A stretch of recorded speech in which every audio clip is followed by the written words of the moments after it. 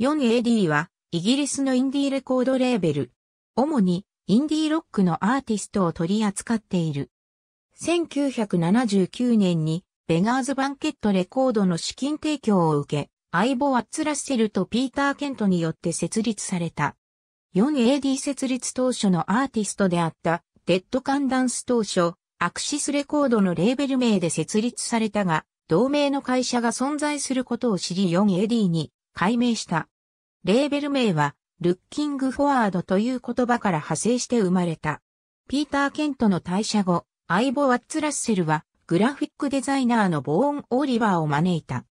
ボーン・オリバーは、写真家のナイジェル・グリーアソンとデザインチーム23エンベロップを結成し、レーベルのアートワークを手掛け、大敗的な音と単美的なデザインを一致させることにより、レーベルカラーを確立した。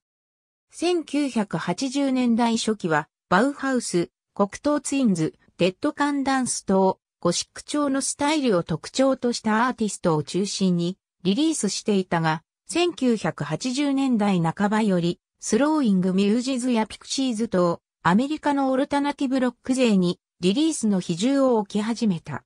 一方で、ブルガリアの民族音楽、レ・ミステア・デボア・ブールガー、神秘の声をリリースするなど、カテゴリーも多様化していった。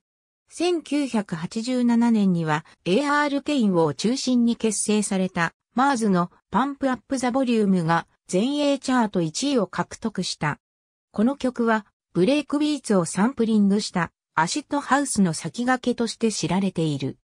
1990年代の 4AD の看板アーティストであったブリーダーズ1990年代にはロサンゼルスにオフィスを設け、ブリーダーズ、レッドハウスペインターズ、アンレスト、ヒズネームイズアライブの作品をリリースし、成功を収めた。1999年にアイボ・ワッツ・ラッセルは持ち株をベガーズバンケットへ売却し、以後 4AD はベガーズグループ傘下のレーベルとして活動を続ける。